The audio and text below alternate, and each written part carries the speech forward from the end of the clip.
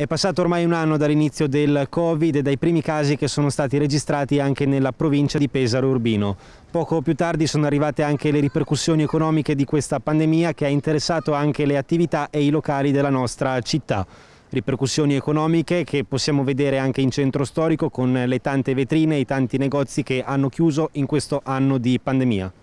Abbiamo perso oltre 40 attività in un anno eh, tra il servizio ristorativo, eh, quindi il gruppo Reca, e il, eh, quindi i pubblici esercizi e le attività normali come possono essere i negozi che noi camminando lungo via Branca basta soltanto vedere eh, quanti negozi sono sfitti, una, non, una moria così non si era mai vista.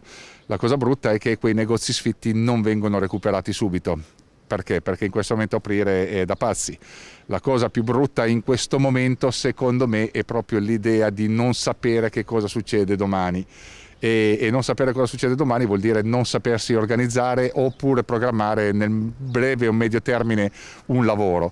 E il diritto costituzionale al lavoro è stato calpestato pesantemente sia dal Covid sia dai DPCM che sono stati attuati nel 2020 e in più l'ultimo DPCM oggi è ancora più restrittivo rispetto ai precedenti, quindi sicuramente problema, al problema sanitario che è un problema serio si aggiunge quello socio-economico che è pesante.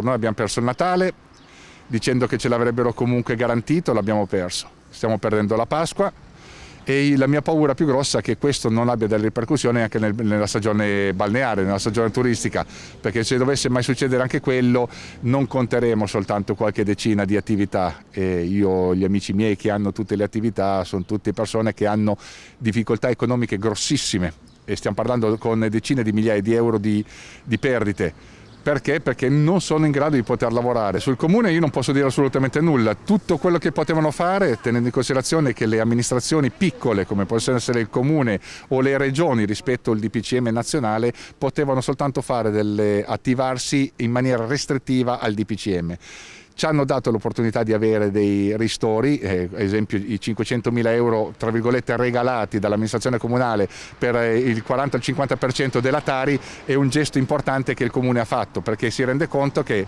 come dicevamo giustamente nei giorni scorsi, nel momento in cui il sistema crolla, eh, se calano le ditte ci sono i licenziamenti, se ci sono i licenziamenti gira meno denaro, se gira meno denaro invece di creare ricchezza crea povertà. La povertà che cosa va a incidere? Incide sulle attività.